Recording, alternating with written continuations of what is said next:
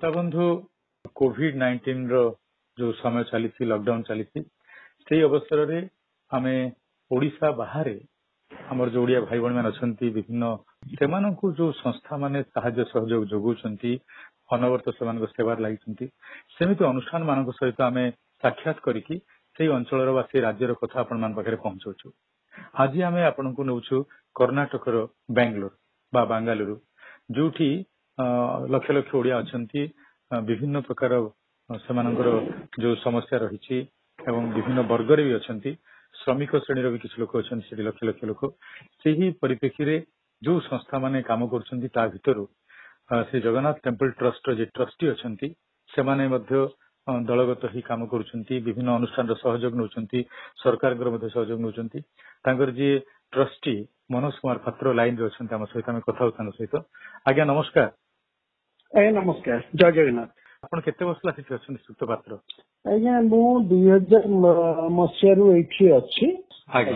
ସେଠି ଆମର ଆନୁମାନିକ କେତେ ଓଡ଼ିଆ ଲୋକ ଥିବେ ଭାଇ ଭଉଣୀ ସବୁ ଆଠ ଲକ୍ଷରୁ ନଅ ଲକ୍ଷ ଓଡ଼ିଆ ଏଠି ବେଙ୍ଗଲୋର ଆଉ ବେଙ୍ଗଲୋର ପାଖାପାଖି ଏରିଆ ବିଭିନ୍ନ ବର୍ଗରେ ଅଛନ୍ତି ଆଚ୍ଛା ଆମର ଶ୍ରମିକ ଭାଇ ଭଉଣୀ ସେଇ ସ୍ତରରେ ମଧ୍ୟ ବହୁତ ଜଣ କନଷ୍ଟ୍ରକ୍ସନ ୱାର୍କର ଅଛନ୍ତି ପ୍ଲମ୍ବର ଅଛନ୍ତି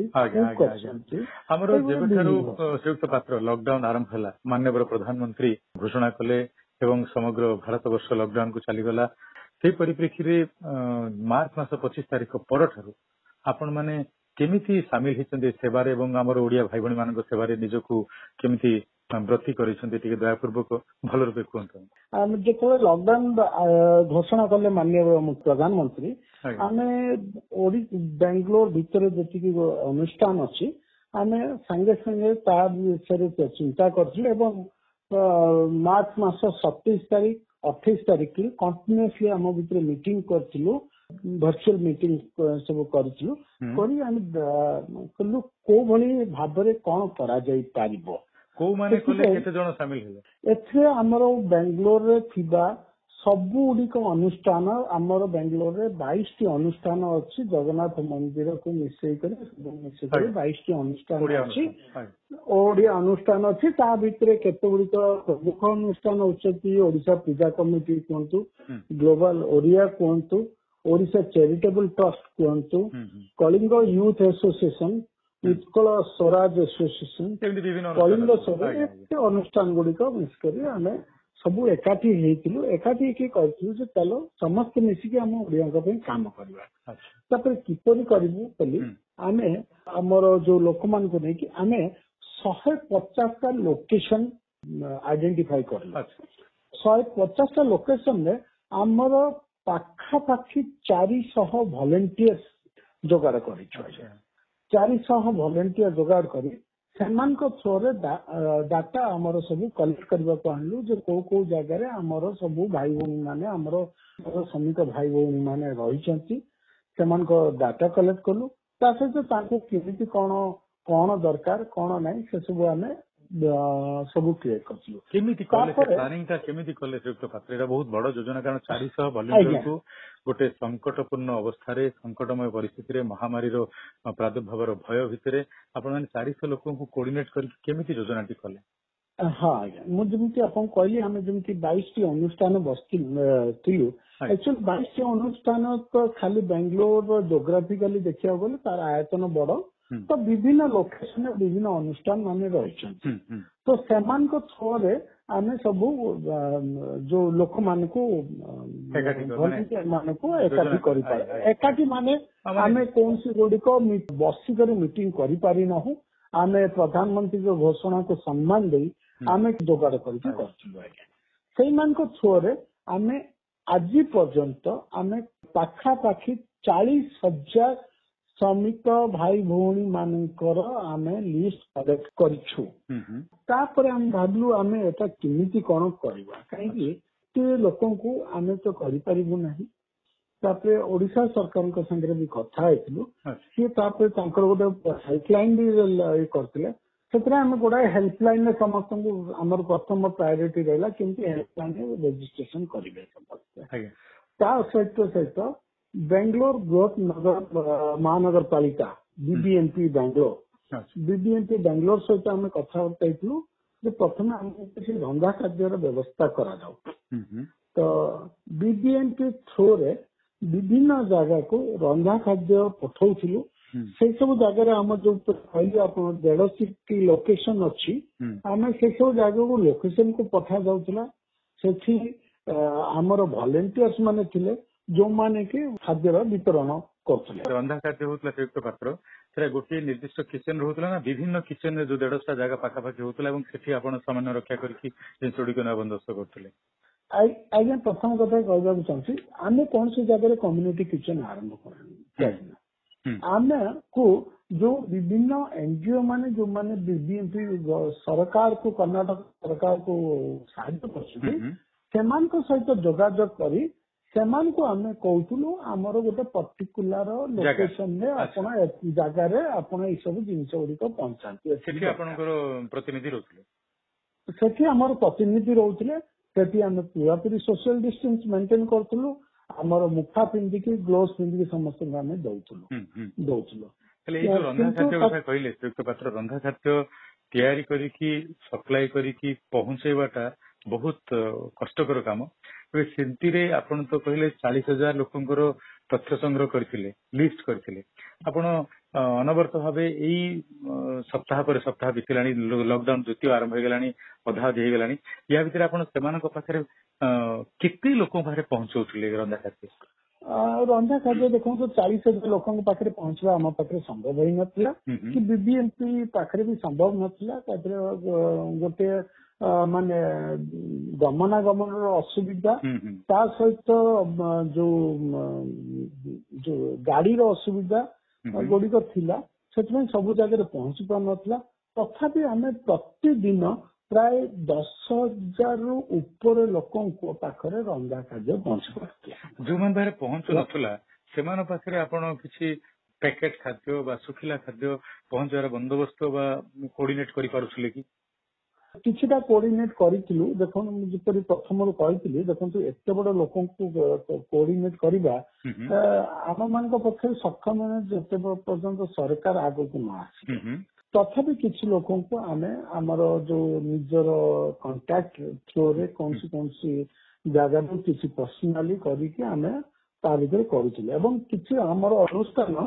ସାଙ୍ଗରେ କାମ କରିବା ସହିତ ସହିତ ସାହାଯ୍ୟ ବାଣ୍ଟୁଥିଲେ ରନ୍ଧା ଖାଦ୍ୟ ବାଣ୍ଟୁଥିଲେ ପ୍ରତି ଜାଗାରେ ରାଜ୍ୟ ସରକାରଙ୍କର ପ୍ରତିନିଧି ମାନେ ଅଫିସର ମାନେ ପୋଲିସ ମାନେ ବହୁତ ସାହାଯ୍ୟ କରନ୍ତି ସେମାନଙ୍କୁ ଆପଣ କଣ ସବୁ ସାହାଯ୍ୟ ସହଯୋଗ ନେଇଥିଲେ